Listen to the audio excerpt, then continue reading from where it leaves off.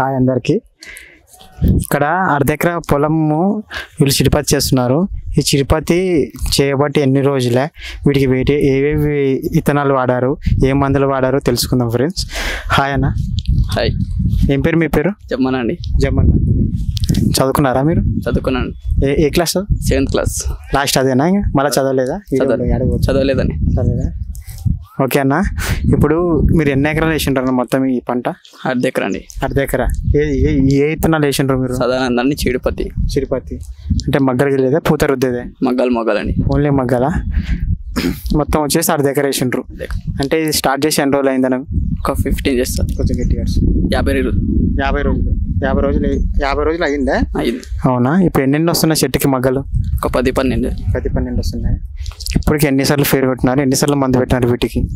ఒక సె- రెండు సార్లు పెట్టింటామండి. ఏటీ మందా? మందులు. ఫేర్లు ఎన్ని కొట్టిండ్రు? ఒక పది సార్లు కొట్టింటాం. పది సార్లు ఫేరే కొట్టిండ్రా? ఓకే ఇప్పుడు కొట్టినారు కదా ఏవి కొట్టినారు ఫేర్లు? అవి ఏవి మందు వాడుతున్నారు? ఒకసారి చెప్తారా? చెప్పాలి. చెప్పాలి. జీనియస్ అని కొట్టాం. నెక్స్ట్ అంటే అది మందా ఫేరా? స్పేర్ మంది అది స్పేర్ మంది జీనియస్ అనే మందులు వస్తాయి. చెప్పు. చెప్పాలా? చెప్పు. ఓకే రాకపోతే వదిలేసాయి. ఇంకోటి మీరు వాడుతున్నారు కదా. ఇప్పుడు మందులో వాడే కొద్దీ మీకు అంటే చెట్లు బాగుంటున్నాయా? ఈ మందులు వాడే కొద్దీ? బాగున్నాయండి బాగున్నాయా? పర్లేదు పంట బాగానే ఉంది? పర్లేదు బాగానే. మీరు ఈ- పొలానికి నీళ్ళు ఎట్లా అంటే ఇప్పుడు కాలు గిన్నెలు వస్తలేవు కదా. ఎట్లా వాడుతున్నారు? ఇవి నీళ్ళు కానీ వాటర్ వాడుతున్నామండి. బోర్ వాటర్ వస్తుందా? Bore water. ఎన్ని ఇంచులు పడుతుంది బోరు?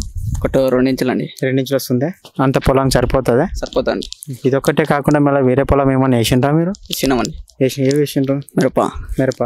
మొత్తం ఎన్ని ఎకరాలు వేసిండ్రు మిరప? Two acres. టూ ఎకరాసా అయితే మీకు ఇదే ఉందా? మొత్తం ఇంక- ఇంకా వేరే పంట ఇంకా ఏమైనా వేసిండ్రా? ఇంకేం లేదండి ఇక్కడే మాత్రం ఇదే. ఇవి రెండే వేసిండ్రా?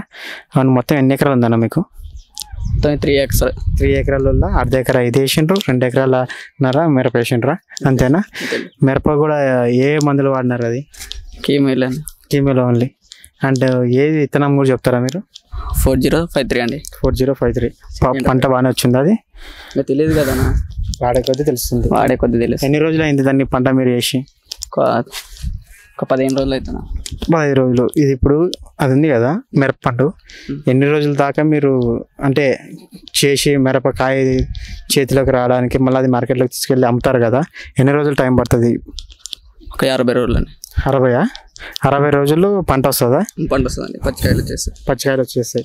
మిరప ఎన్ని ఎన్ని కోతల దాకా కోయచ్చు మీరు మిరపని? ఒక ఏడు ఎనిమిది కోతలండి ఏడెనిమిది కోతలకు వస్తారా? ఏడెనిమిది కోతల తర్వాత అది ఏం చేస్తారు? తీసేయడం అండి తీసేసి అమ్ముతారా అవి? పండుగ తెంపి అమ్మేస్తామండి. తెంపి అమ్ము- అమ్మేస్తారా? ఎంత పోతుంది మీకు కింటం అది మిరప? ఏం పదిహేను వేలు దాకా లాస్ట్. పదిహేను వేల దాకా ఉంటుంది.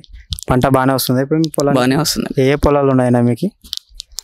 ఎర్ర పొలం ఇది. ఎర్ర పొలంలో ఏం వేసిండ్రు? ఎర్ర పొలంలో మిరప ఉమ్, ఇప్పుడు మీ చిరుపతి వేసిన పొలం ఇది సౌడ్ అండి సౌడా? ఈ చిరుపతి కూడా కింటం ఎంత నడుస్తుందన్న? కింద అరవై వేలు అండి అరవై వేలు నడుస్తుందా.